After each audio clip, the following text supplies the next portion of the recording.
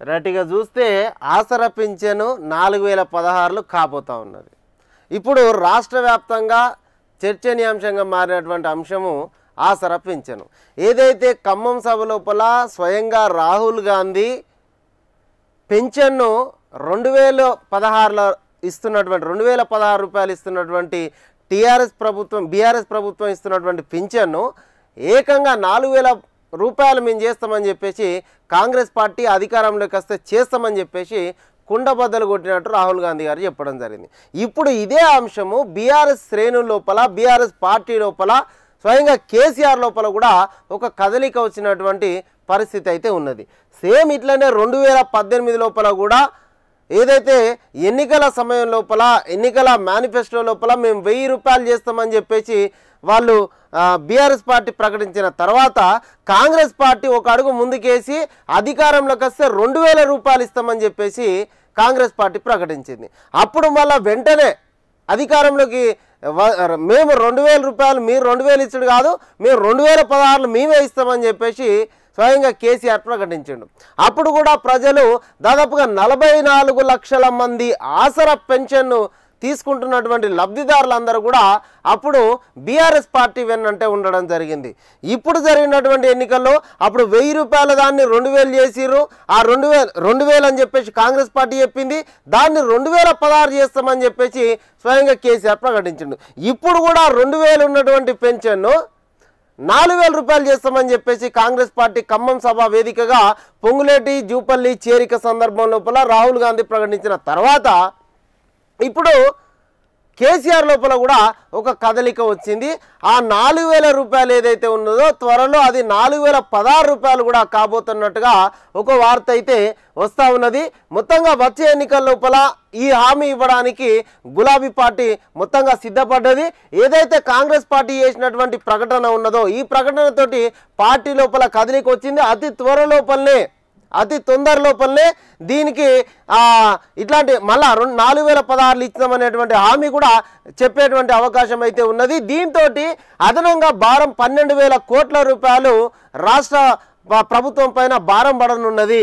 ఏదైతే ఆసరా పింఛన్ కోసం ఈ ఏడాది బడ్జెట్ లోపల పన్నెండు వేల కోట్లు ఖర్చు చేస్తున్నాయో ఒకవేళ పెన్షన్ డబుల్ చేస్తే ఆ పన్నెండు ఇంకో పన్నెండు ఇరవై నాలుగు కోట్ల రూపాయల భారము ఇరవై నాలుగు వేల కోట్ల రూపాయల భారం పడేటువంటి అవకాశం అయితే ఉన్నది.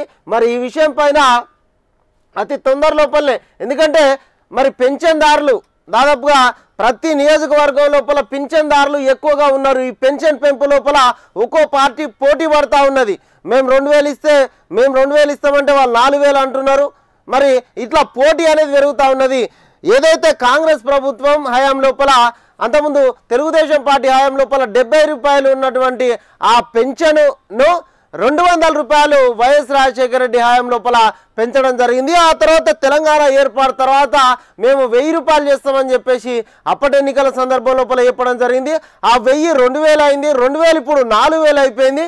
ఇట్లా మొత్తంగా పెన్షన్ పెంపు లోపల అన్ని పార్టీలు దాదాపుగా ప్రధాన పార్టీలు అయితే తెలంగాణ లోపల పోటీ పడతా ఉన్నాయి. ఈ విషయం పైన పెన్షన్కు సంబంధించి బీజేపీ పార్టీ అయితే ఎట్లాంటి ప్రకటన చేయలేదు. ఇక చూడాలి. రెండు వేల అసెంబ్లీ రెండు వేల పద్దెనిమిది అసెంబ్లీ ఎన్నికల సందర్భం లోపల కాంగ్రెస్ బీఆర్ఎస్ మధ్య పోటీ నెలకొన్నది. అప్పుడు నాటి పెన్షన్ నాటి ఎన్నికల లోపల ఆసరా పెన్షన్ మొత్తాన్ని వెయ్యి నుంచి రెండు వేలు చేస్తామని చెప్పేసి కాంగ్రెస్ ప్రకటించింది. దాన్ని సవాల్గా తీసుకున్నటువంటి బీఆర్ఎస్ పార్టీ అధికారంలోకి రాగానే మేము పెన్షన్ వెయ్యి నుంచి రెండు వేల పదహారులు చేస్తామని చెప్పేసి మేనిఫెస్టోలో చేర్చిలు ఇప్పుడు కూడా సేమ్ అదే విధంగా కాంగ్రెస్ పార్టీ రెండు వేలు చేస్తామని చెప్పగానే మళ్ళీ నాలుగు వేల పదహారులు చేస్తామని చెప్పేసి అతి తొందర లోపలనే బీఆర్ఎస్ పార్టీ చెప్పేటువంటి అవకాశం అయితే ఉన్నది. మొత్తానికి ఇట్లా ఆశల వలయం లోపలికి ప్రజల్ని నెట్టే నెట్టేటువంటి పరిస్థితి అయితే ఉన్నది. బీఆర్ఎస్ పార్టీకి ప్రధానంగా ఓటు బ్యాంకుగా ఈ ఆసర పెన్షన్దారులే ఉన్నారు.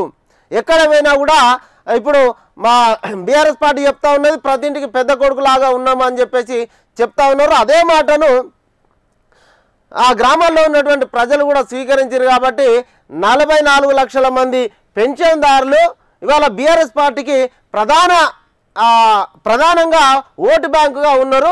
దాంట్లో లోపల మిగతా పథకాల లోపల ప్రయోజనం పొందుతున్న లబ్ధిదారులు కొంచెం ఆలోచన అటు ఇటుగా ఉన్నప్పటికీ ఇటు పెన్షన్దారు లోపల మాత్రం స్పష్టంగా అది బీఆర్ఎస్ పార్టీ వైపే ఉన్నది. దీన్ని ఆసరగా చేసుకొని దీన్ని ఆసరగా చేసుకొని కాంగ్రెస్ పార్టీ పెన్షన్దారుల యొక్క ఓటు బ్యాంకును మనం డైవర్ట్ చేయాలి. పెన్షన్దారుల ఓటు బ్యాంకును మలుచుకోగలిగితే కాంగ్రెస్ పార్టీకి ప్రధాన ఆయుధంగా మారుతుందని చెప్పేసి కాంగ్రెస్ పార్టీ భావించింది. రెండు వేల రూపాయల ఓ ఉన్నటువంటి పెన్షన్ను నాలుగు వేలు చేస్తామని చెప్పేసి ఏకాఏకిన పెంచేయడంతో ఆ ఓటు బ్యాంక్ ఎక్కడ డైవర్ట్ అవుతుందో అని చెప్పేసి ఇప్పుడు కేసీఆర్ కేసీఆర్కు అదేవిధంగా పార్టీ లోపల ఒక గుబులు మొదలైనటువంటి పరిస్థితి అయితే ఉన్నది. మొత్తంగా ఈసారి కూడా ప్రస్తుతం ఇస్తున్నటువంటి పెన్షన్ను రెండు వేల పదహారు నుంచి మూడు వేల పదహారు చేయాలని చెప్పేసి ముందుగా అంటే ఇంకొక వెయ్యి రూపాయలు పెంచాలని చెప్పేసి కేసీఆర్ అయితే భావించిండు. కానీ ఏకంగా నాలుగు వేల రూపాయలు చేస్తామని చెప్పేసి కాంగ్రెస్ పార్టీ చెప్పడంతో ఆ నాలుగు వేలు కాస్త నాలుగు వేలు పదహారు చేయడానికి కూడా ఇప్పుడు బీఆర్ఎస్ పార్టీ సిద్ధపడ్డది మొత్తంగా ఎన్నికల ఎన్నికలు అనేటివి సమీపిస్తున్నటువంటి వేళ ప్రజల్ని మొత్తం ఇటు ఆశల వలయం లోపల నెట్టడానికి ప- ప్రధాన పార్టీలు అయితే మొత్తం ముందడికి వచ్చినటువంటి పరిస్థితి అయితే ఉన్నది.